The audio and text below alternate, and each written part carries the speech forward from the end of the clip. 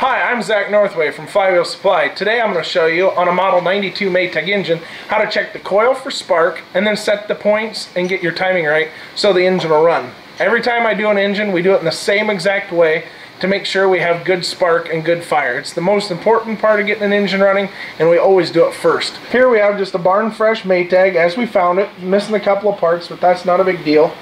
And the first thing to do is check the coil for continuity to know if the coil is even good.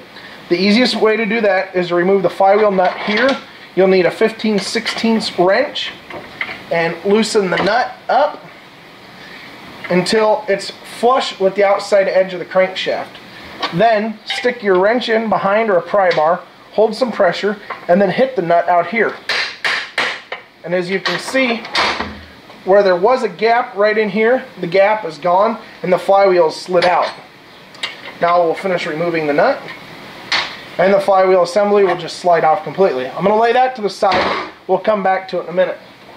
The next thing to do is check the coil. There's two sides of the coil to check.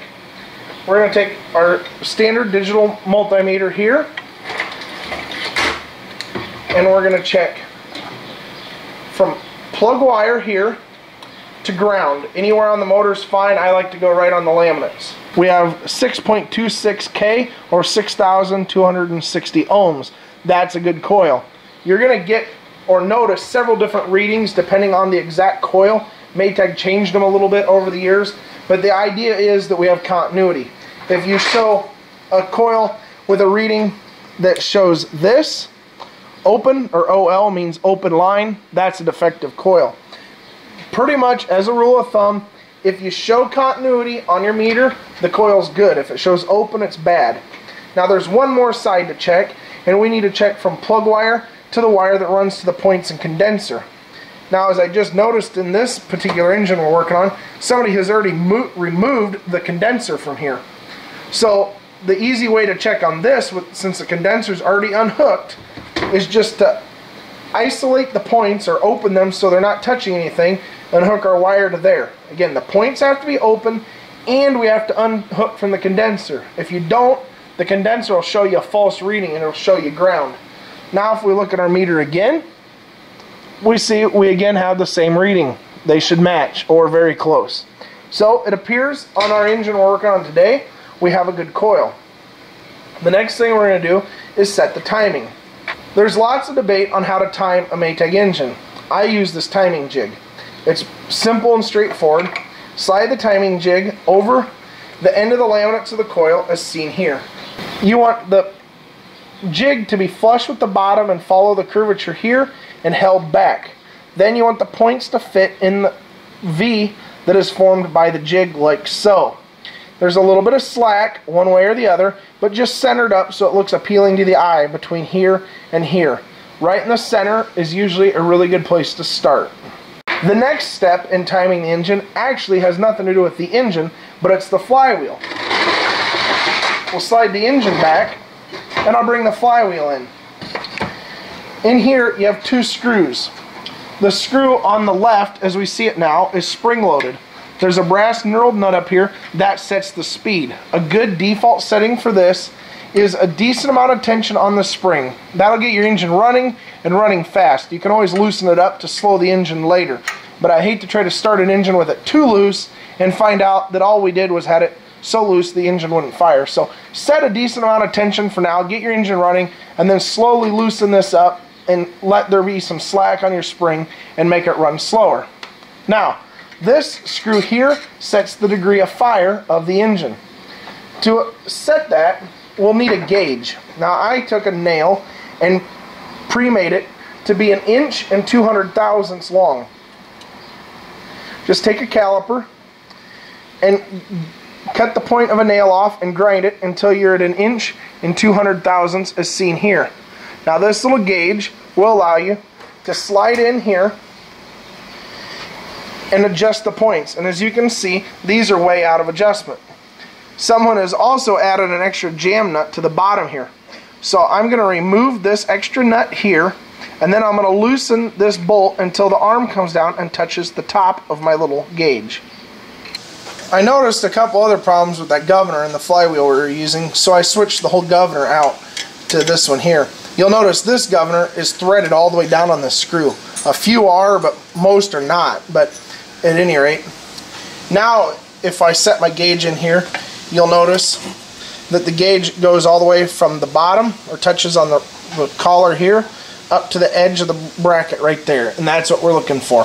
So from here to here should be an inch and 200 thousandths. Now that that is set we can turn our attention to the points. To set the points we'll have to install the flywheel but don't install the nut. Find where your shear key is located here line it up with the shear key on your flywheel and slide it on like so then roll the flywheel until around till your points open. And if you look way down in there, you can now see the points are opened up. And right there you can see the points are open. Now measure that gap with a feeler gauge and note if it's more than or less than 20 thousandths. Once you know what the gap is, you can slide the flywheel back off and adjust the points accordingly. To do that, we will adjust the stationary contact of the points. Once you know if the gap is more than or less than 20 thousandths, slide the flywheel back off like this and adjust the points to 20 thousandths. To do that, loosen the stationary contact, this one right here, loosen this small jam nut here, and twist the point right here in or out to make the 20 thousandths. Do just a little bit at a time, leave the jam nut loose, slide the flywheel back on, and check if it's at 20 thousandths yet. Once it is at your 20 thousandths of clearance, simply tighten the bottom jam nut and you should be good to go. If in adjusting the stationary contact, you have to move the stationary contact excessively in or out beyond about the middle of the range, then there's another way to adjust it. This should end up relatively in the middle if it's timed correctly. So if you got to move it way to one end or the other, just leave it set about in the middle loosen this screw slightly right here until it's just barely loose. Take a flat tip screwdriver and twist this just slightly. Not very much, a little does it. And if you twist right here, that'll push the points away, which will narrow the gap. So this bracket here going in that direction or to the left of the video will make the points gap open less every time they open. And you can do it with the jig still on here or the timing jig still on here up like this to make sure this top corner doesn't move. And as long as this stays in here, get that points gap set to 20 thousandths by moving this, or if you got to cheat a little, by moving your bracket right here, in or out. Again, moving this bracket down or away from the oil catch ring will make the points gap narrower when they open. Set that to 20 thousandths, tighten this screw, make sure this one's still tight, and you should be good to go. Now, in the case of the engine we're working on, we noticed when we took it apart, somebody has robbed the condenser. I'm going to install a new condenser, and we'll see if we have spark. Here's a new condenser I've started to install. If you're putting one of our new condensers in, there's two screws in the back of your magneto plate here, one down here and one up in the corner, which you just can't quite see. I always mount the condenser with the clamp to the top screw. If you go down here, you got a chance that the flywheel counterweight and magnet will hit it when it comes around right here. So install it to the upper screw furthest into the center of the plate. And then the lead simply needs to run up here to this screw to make connection.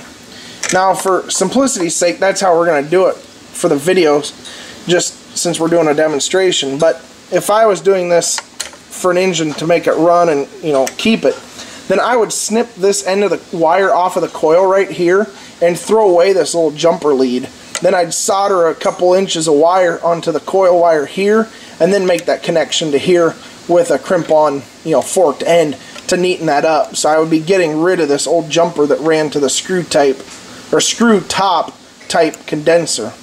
But for simplicity's sake right now we're going to leave it like this. But do make sure that this is tucked out of the way or wrap it with some black tape because if this goes to ground, you're not going to get any fire at all. And then obviously this wire needs tucked out of the way or we're going to uh, catch it in the counterweight on the engine. Now I've put a tie strap on this to make sure this wire doesn't touch ground and I got the condenser wire neatened up so it's not going to get caught in anything moving. And then I paid a little attention up here to make sure where this connection is here. We don't want this terminal being able to touch ground or anything either as obviously that would keep the engine from running. Now one last final bit of preparation to make this run is we're going to clean the points. Now lots of people do lots of things to clean the points. I like to use my Dremel with a wire brush. Simply install a large stainless wire brush to the Dremel, open the points, and clean them like so.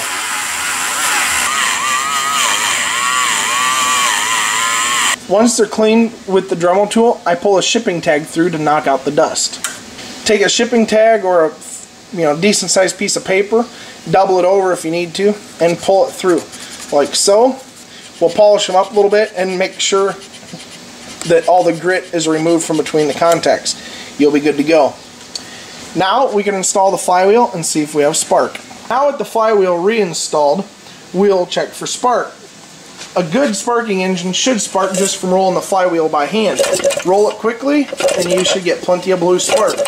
Any other color of spark is a sign of a weak coil or something improperly adjusted. And there you have it. Now with the spark all properly adjusted, all that's left is to tackle the fuel system and the engine should be running. I hope that you've enjoyed the video today. If you want to learn more about Maytags, you're welcome to call us for technical support.